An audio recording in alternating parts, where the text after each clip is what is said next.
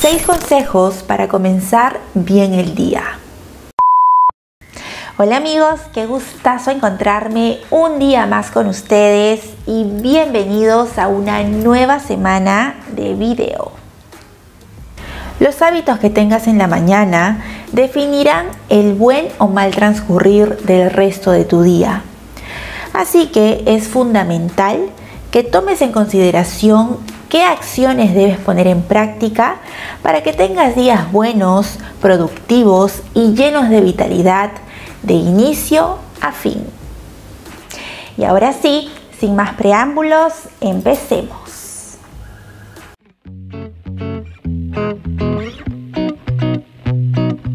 Número 1.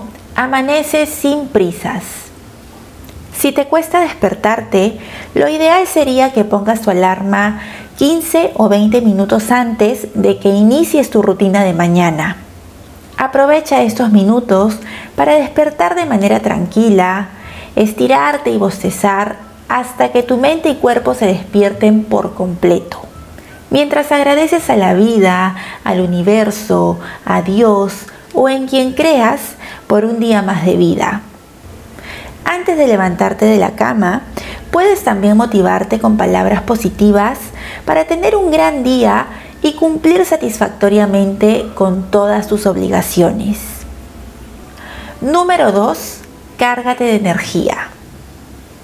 Para recargarte de energía, puedes empezar con una corta sesión de ejercicios y luego darte un baño, de preferencia con agua fría, para quitar la pereza del descanso nocturno y de paso ayudar a la circulación del cuerpo, concentración y mejorar el ánimo.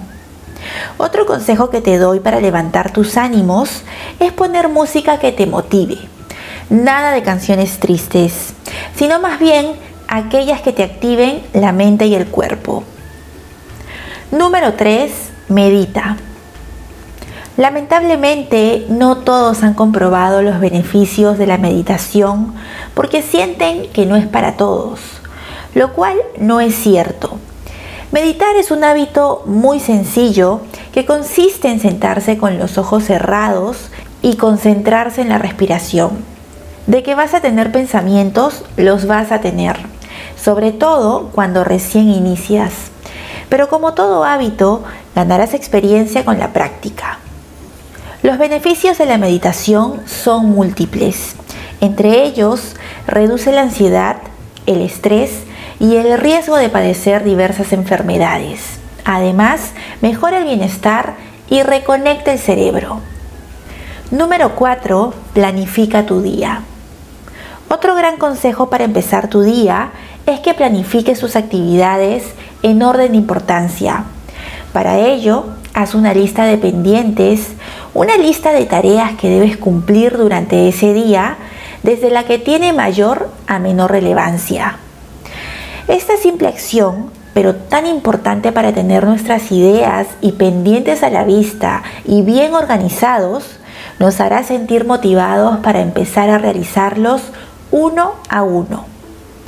Manejes una agenda o un cuaderno de apuntes, organizar tu día es la mejor forma de empezarlo. Número 5. Ten una actitud positiva. El resultado de todo tu día está íntimamente ligado a tu actitud. Por lo tanto, está de más decirte que si te despiertas con una buena actitud, a pesar de las dificultades que enfrentes, tu día se inclinará más a ser bueno. Aunque no dudes que pasarán cosas que por más que te hayas despertado con mucho positivismo, podrían arruinarte todo el resto que te queda del día. Pero recuerda algo, no es lo que te pasa, sino cómo tomas eso que te pasa. Número 6. Lee. Según un estudio realizado, la mejor hora para leer es en la noche. Sin embargo, no a todos les resulta el mejor momento como a mí, porque el cansancio mental acompañado de lectura pueden convertirse en un somnífero eficaz. Por eso, aprovechar las primeras horas de la mañana para leer, de preferencia algo que te haga empezar bien el día, hará que te sientas mejor de ánimo y al mismo tiempo lo verás como uno de tus primeros logros del día. Te lo recomiendo. Y bien amigos, estos fueron algunos consejos que podrían ayudarlos a tener un gran inicio del día. Cuéntenme en los comentarios qué hábitos buenos practican en las mañanas. Los leo. Y con esto llegamos al final del video. Recuerden que tengo Instagram y Facebook y me encuentran con el mismo nombre. Además, si les gustó este video pueden dejarme un me gusta y no olviden suscribirse al canal dándole clic al botoncito rojo que aparece en la parte inferior y también en la campanita para que no se pierdan las próximas publicaciones. Un abrazo grande y muy fuerte a cada uno de ustedes. Cuídense mucho y hasta la próxima. Chao.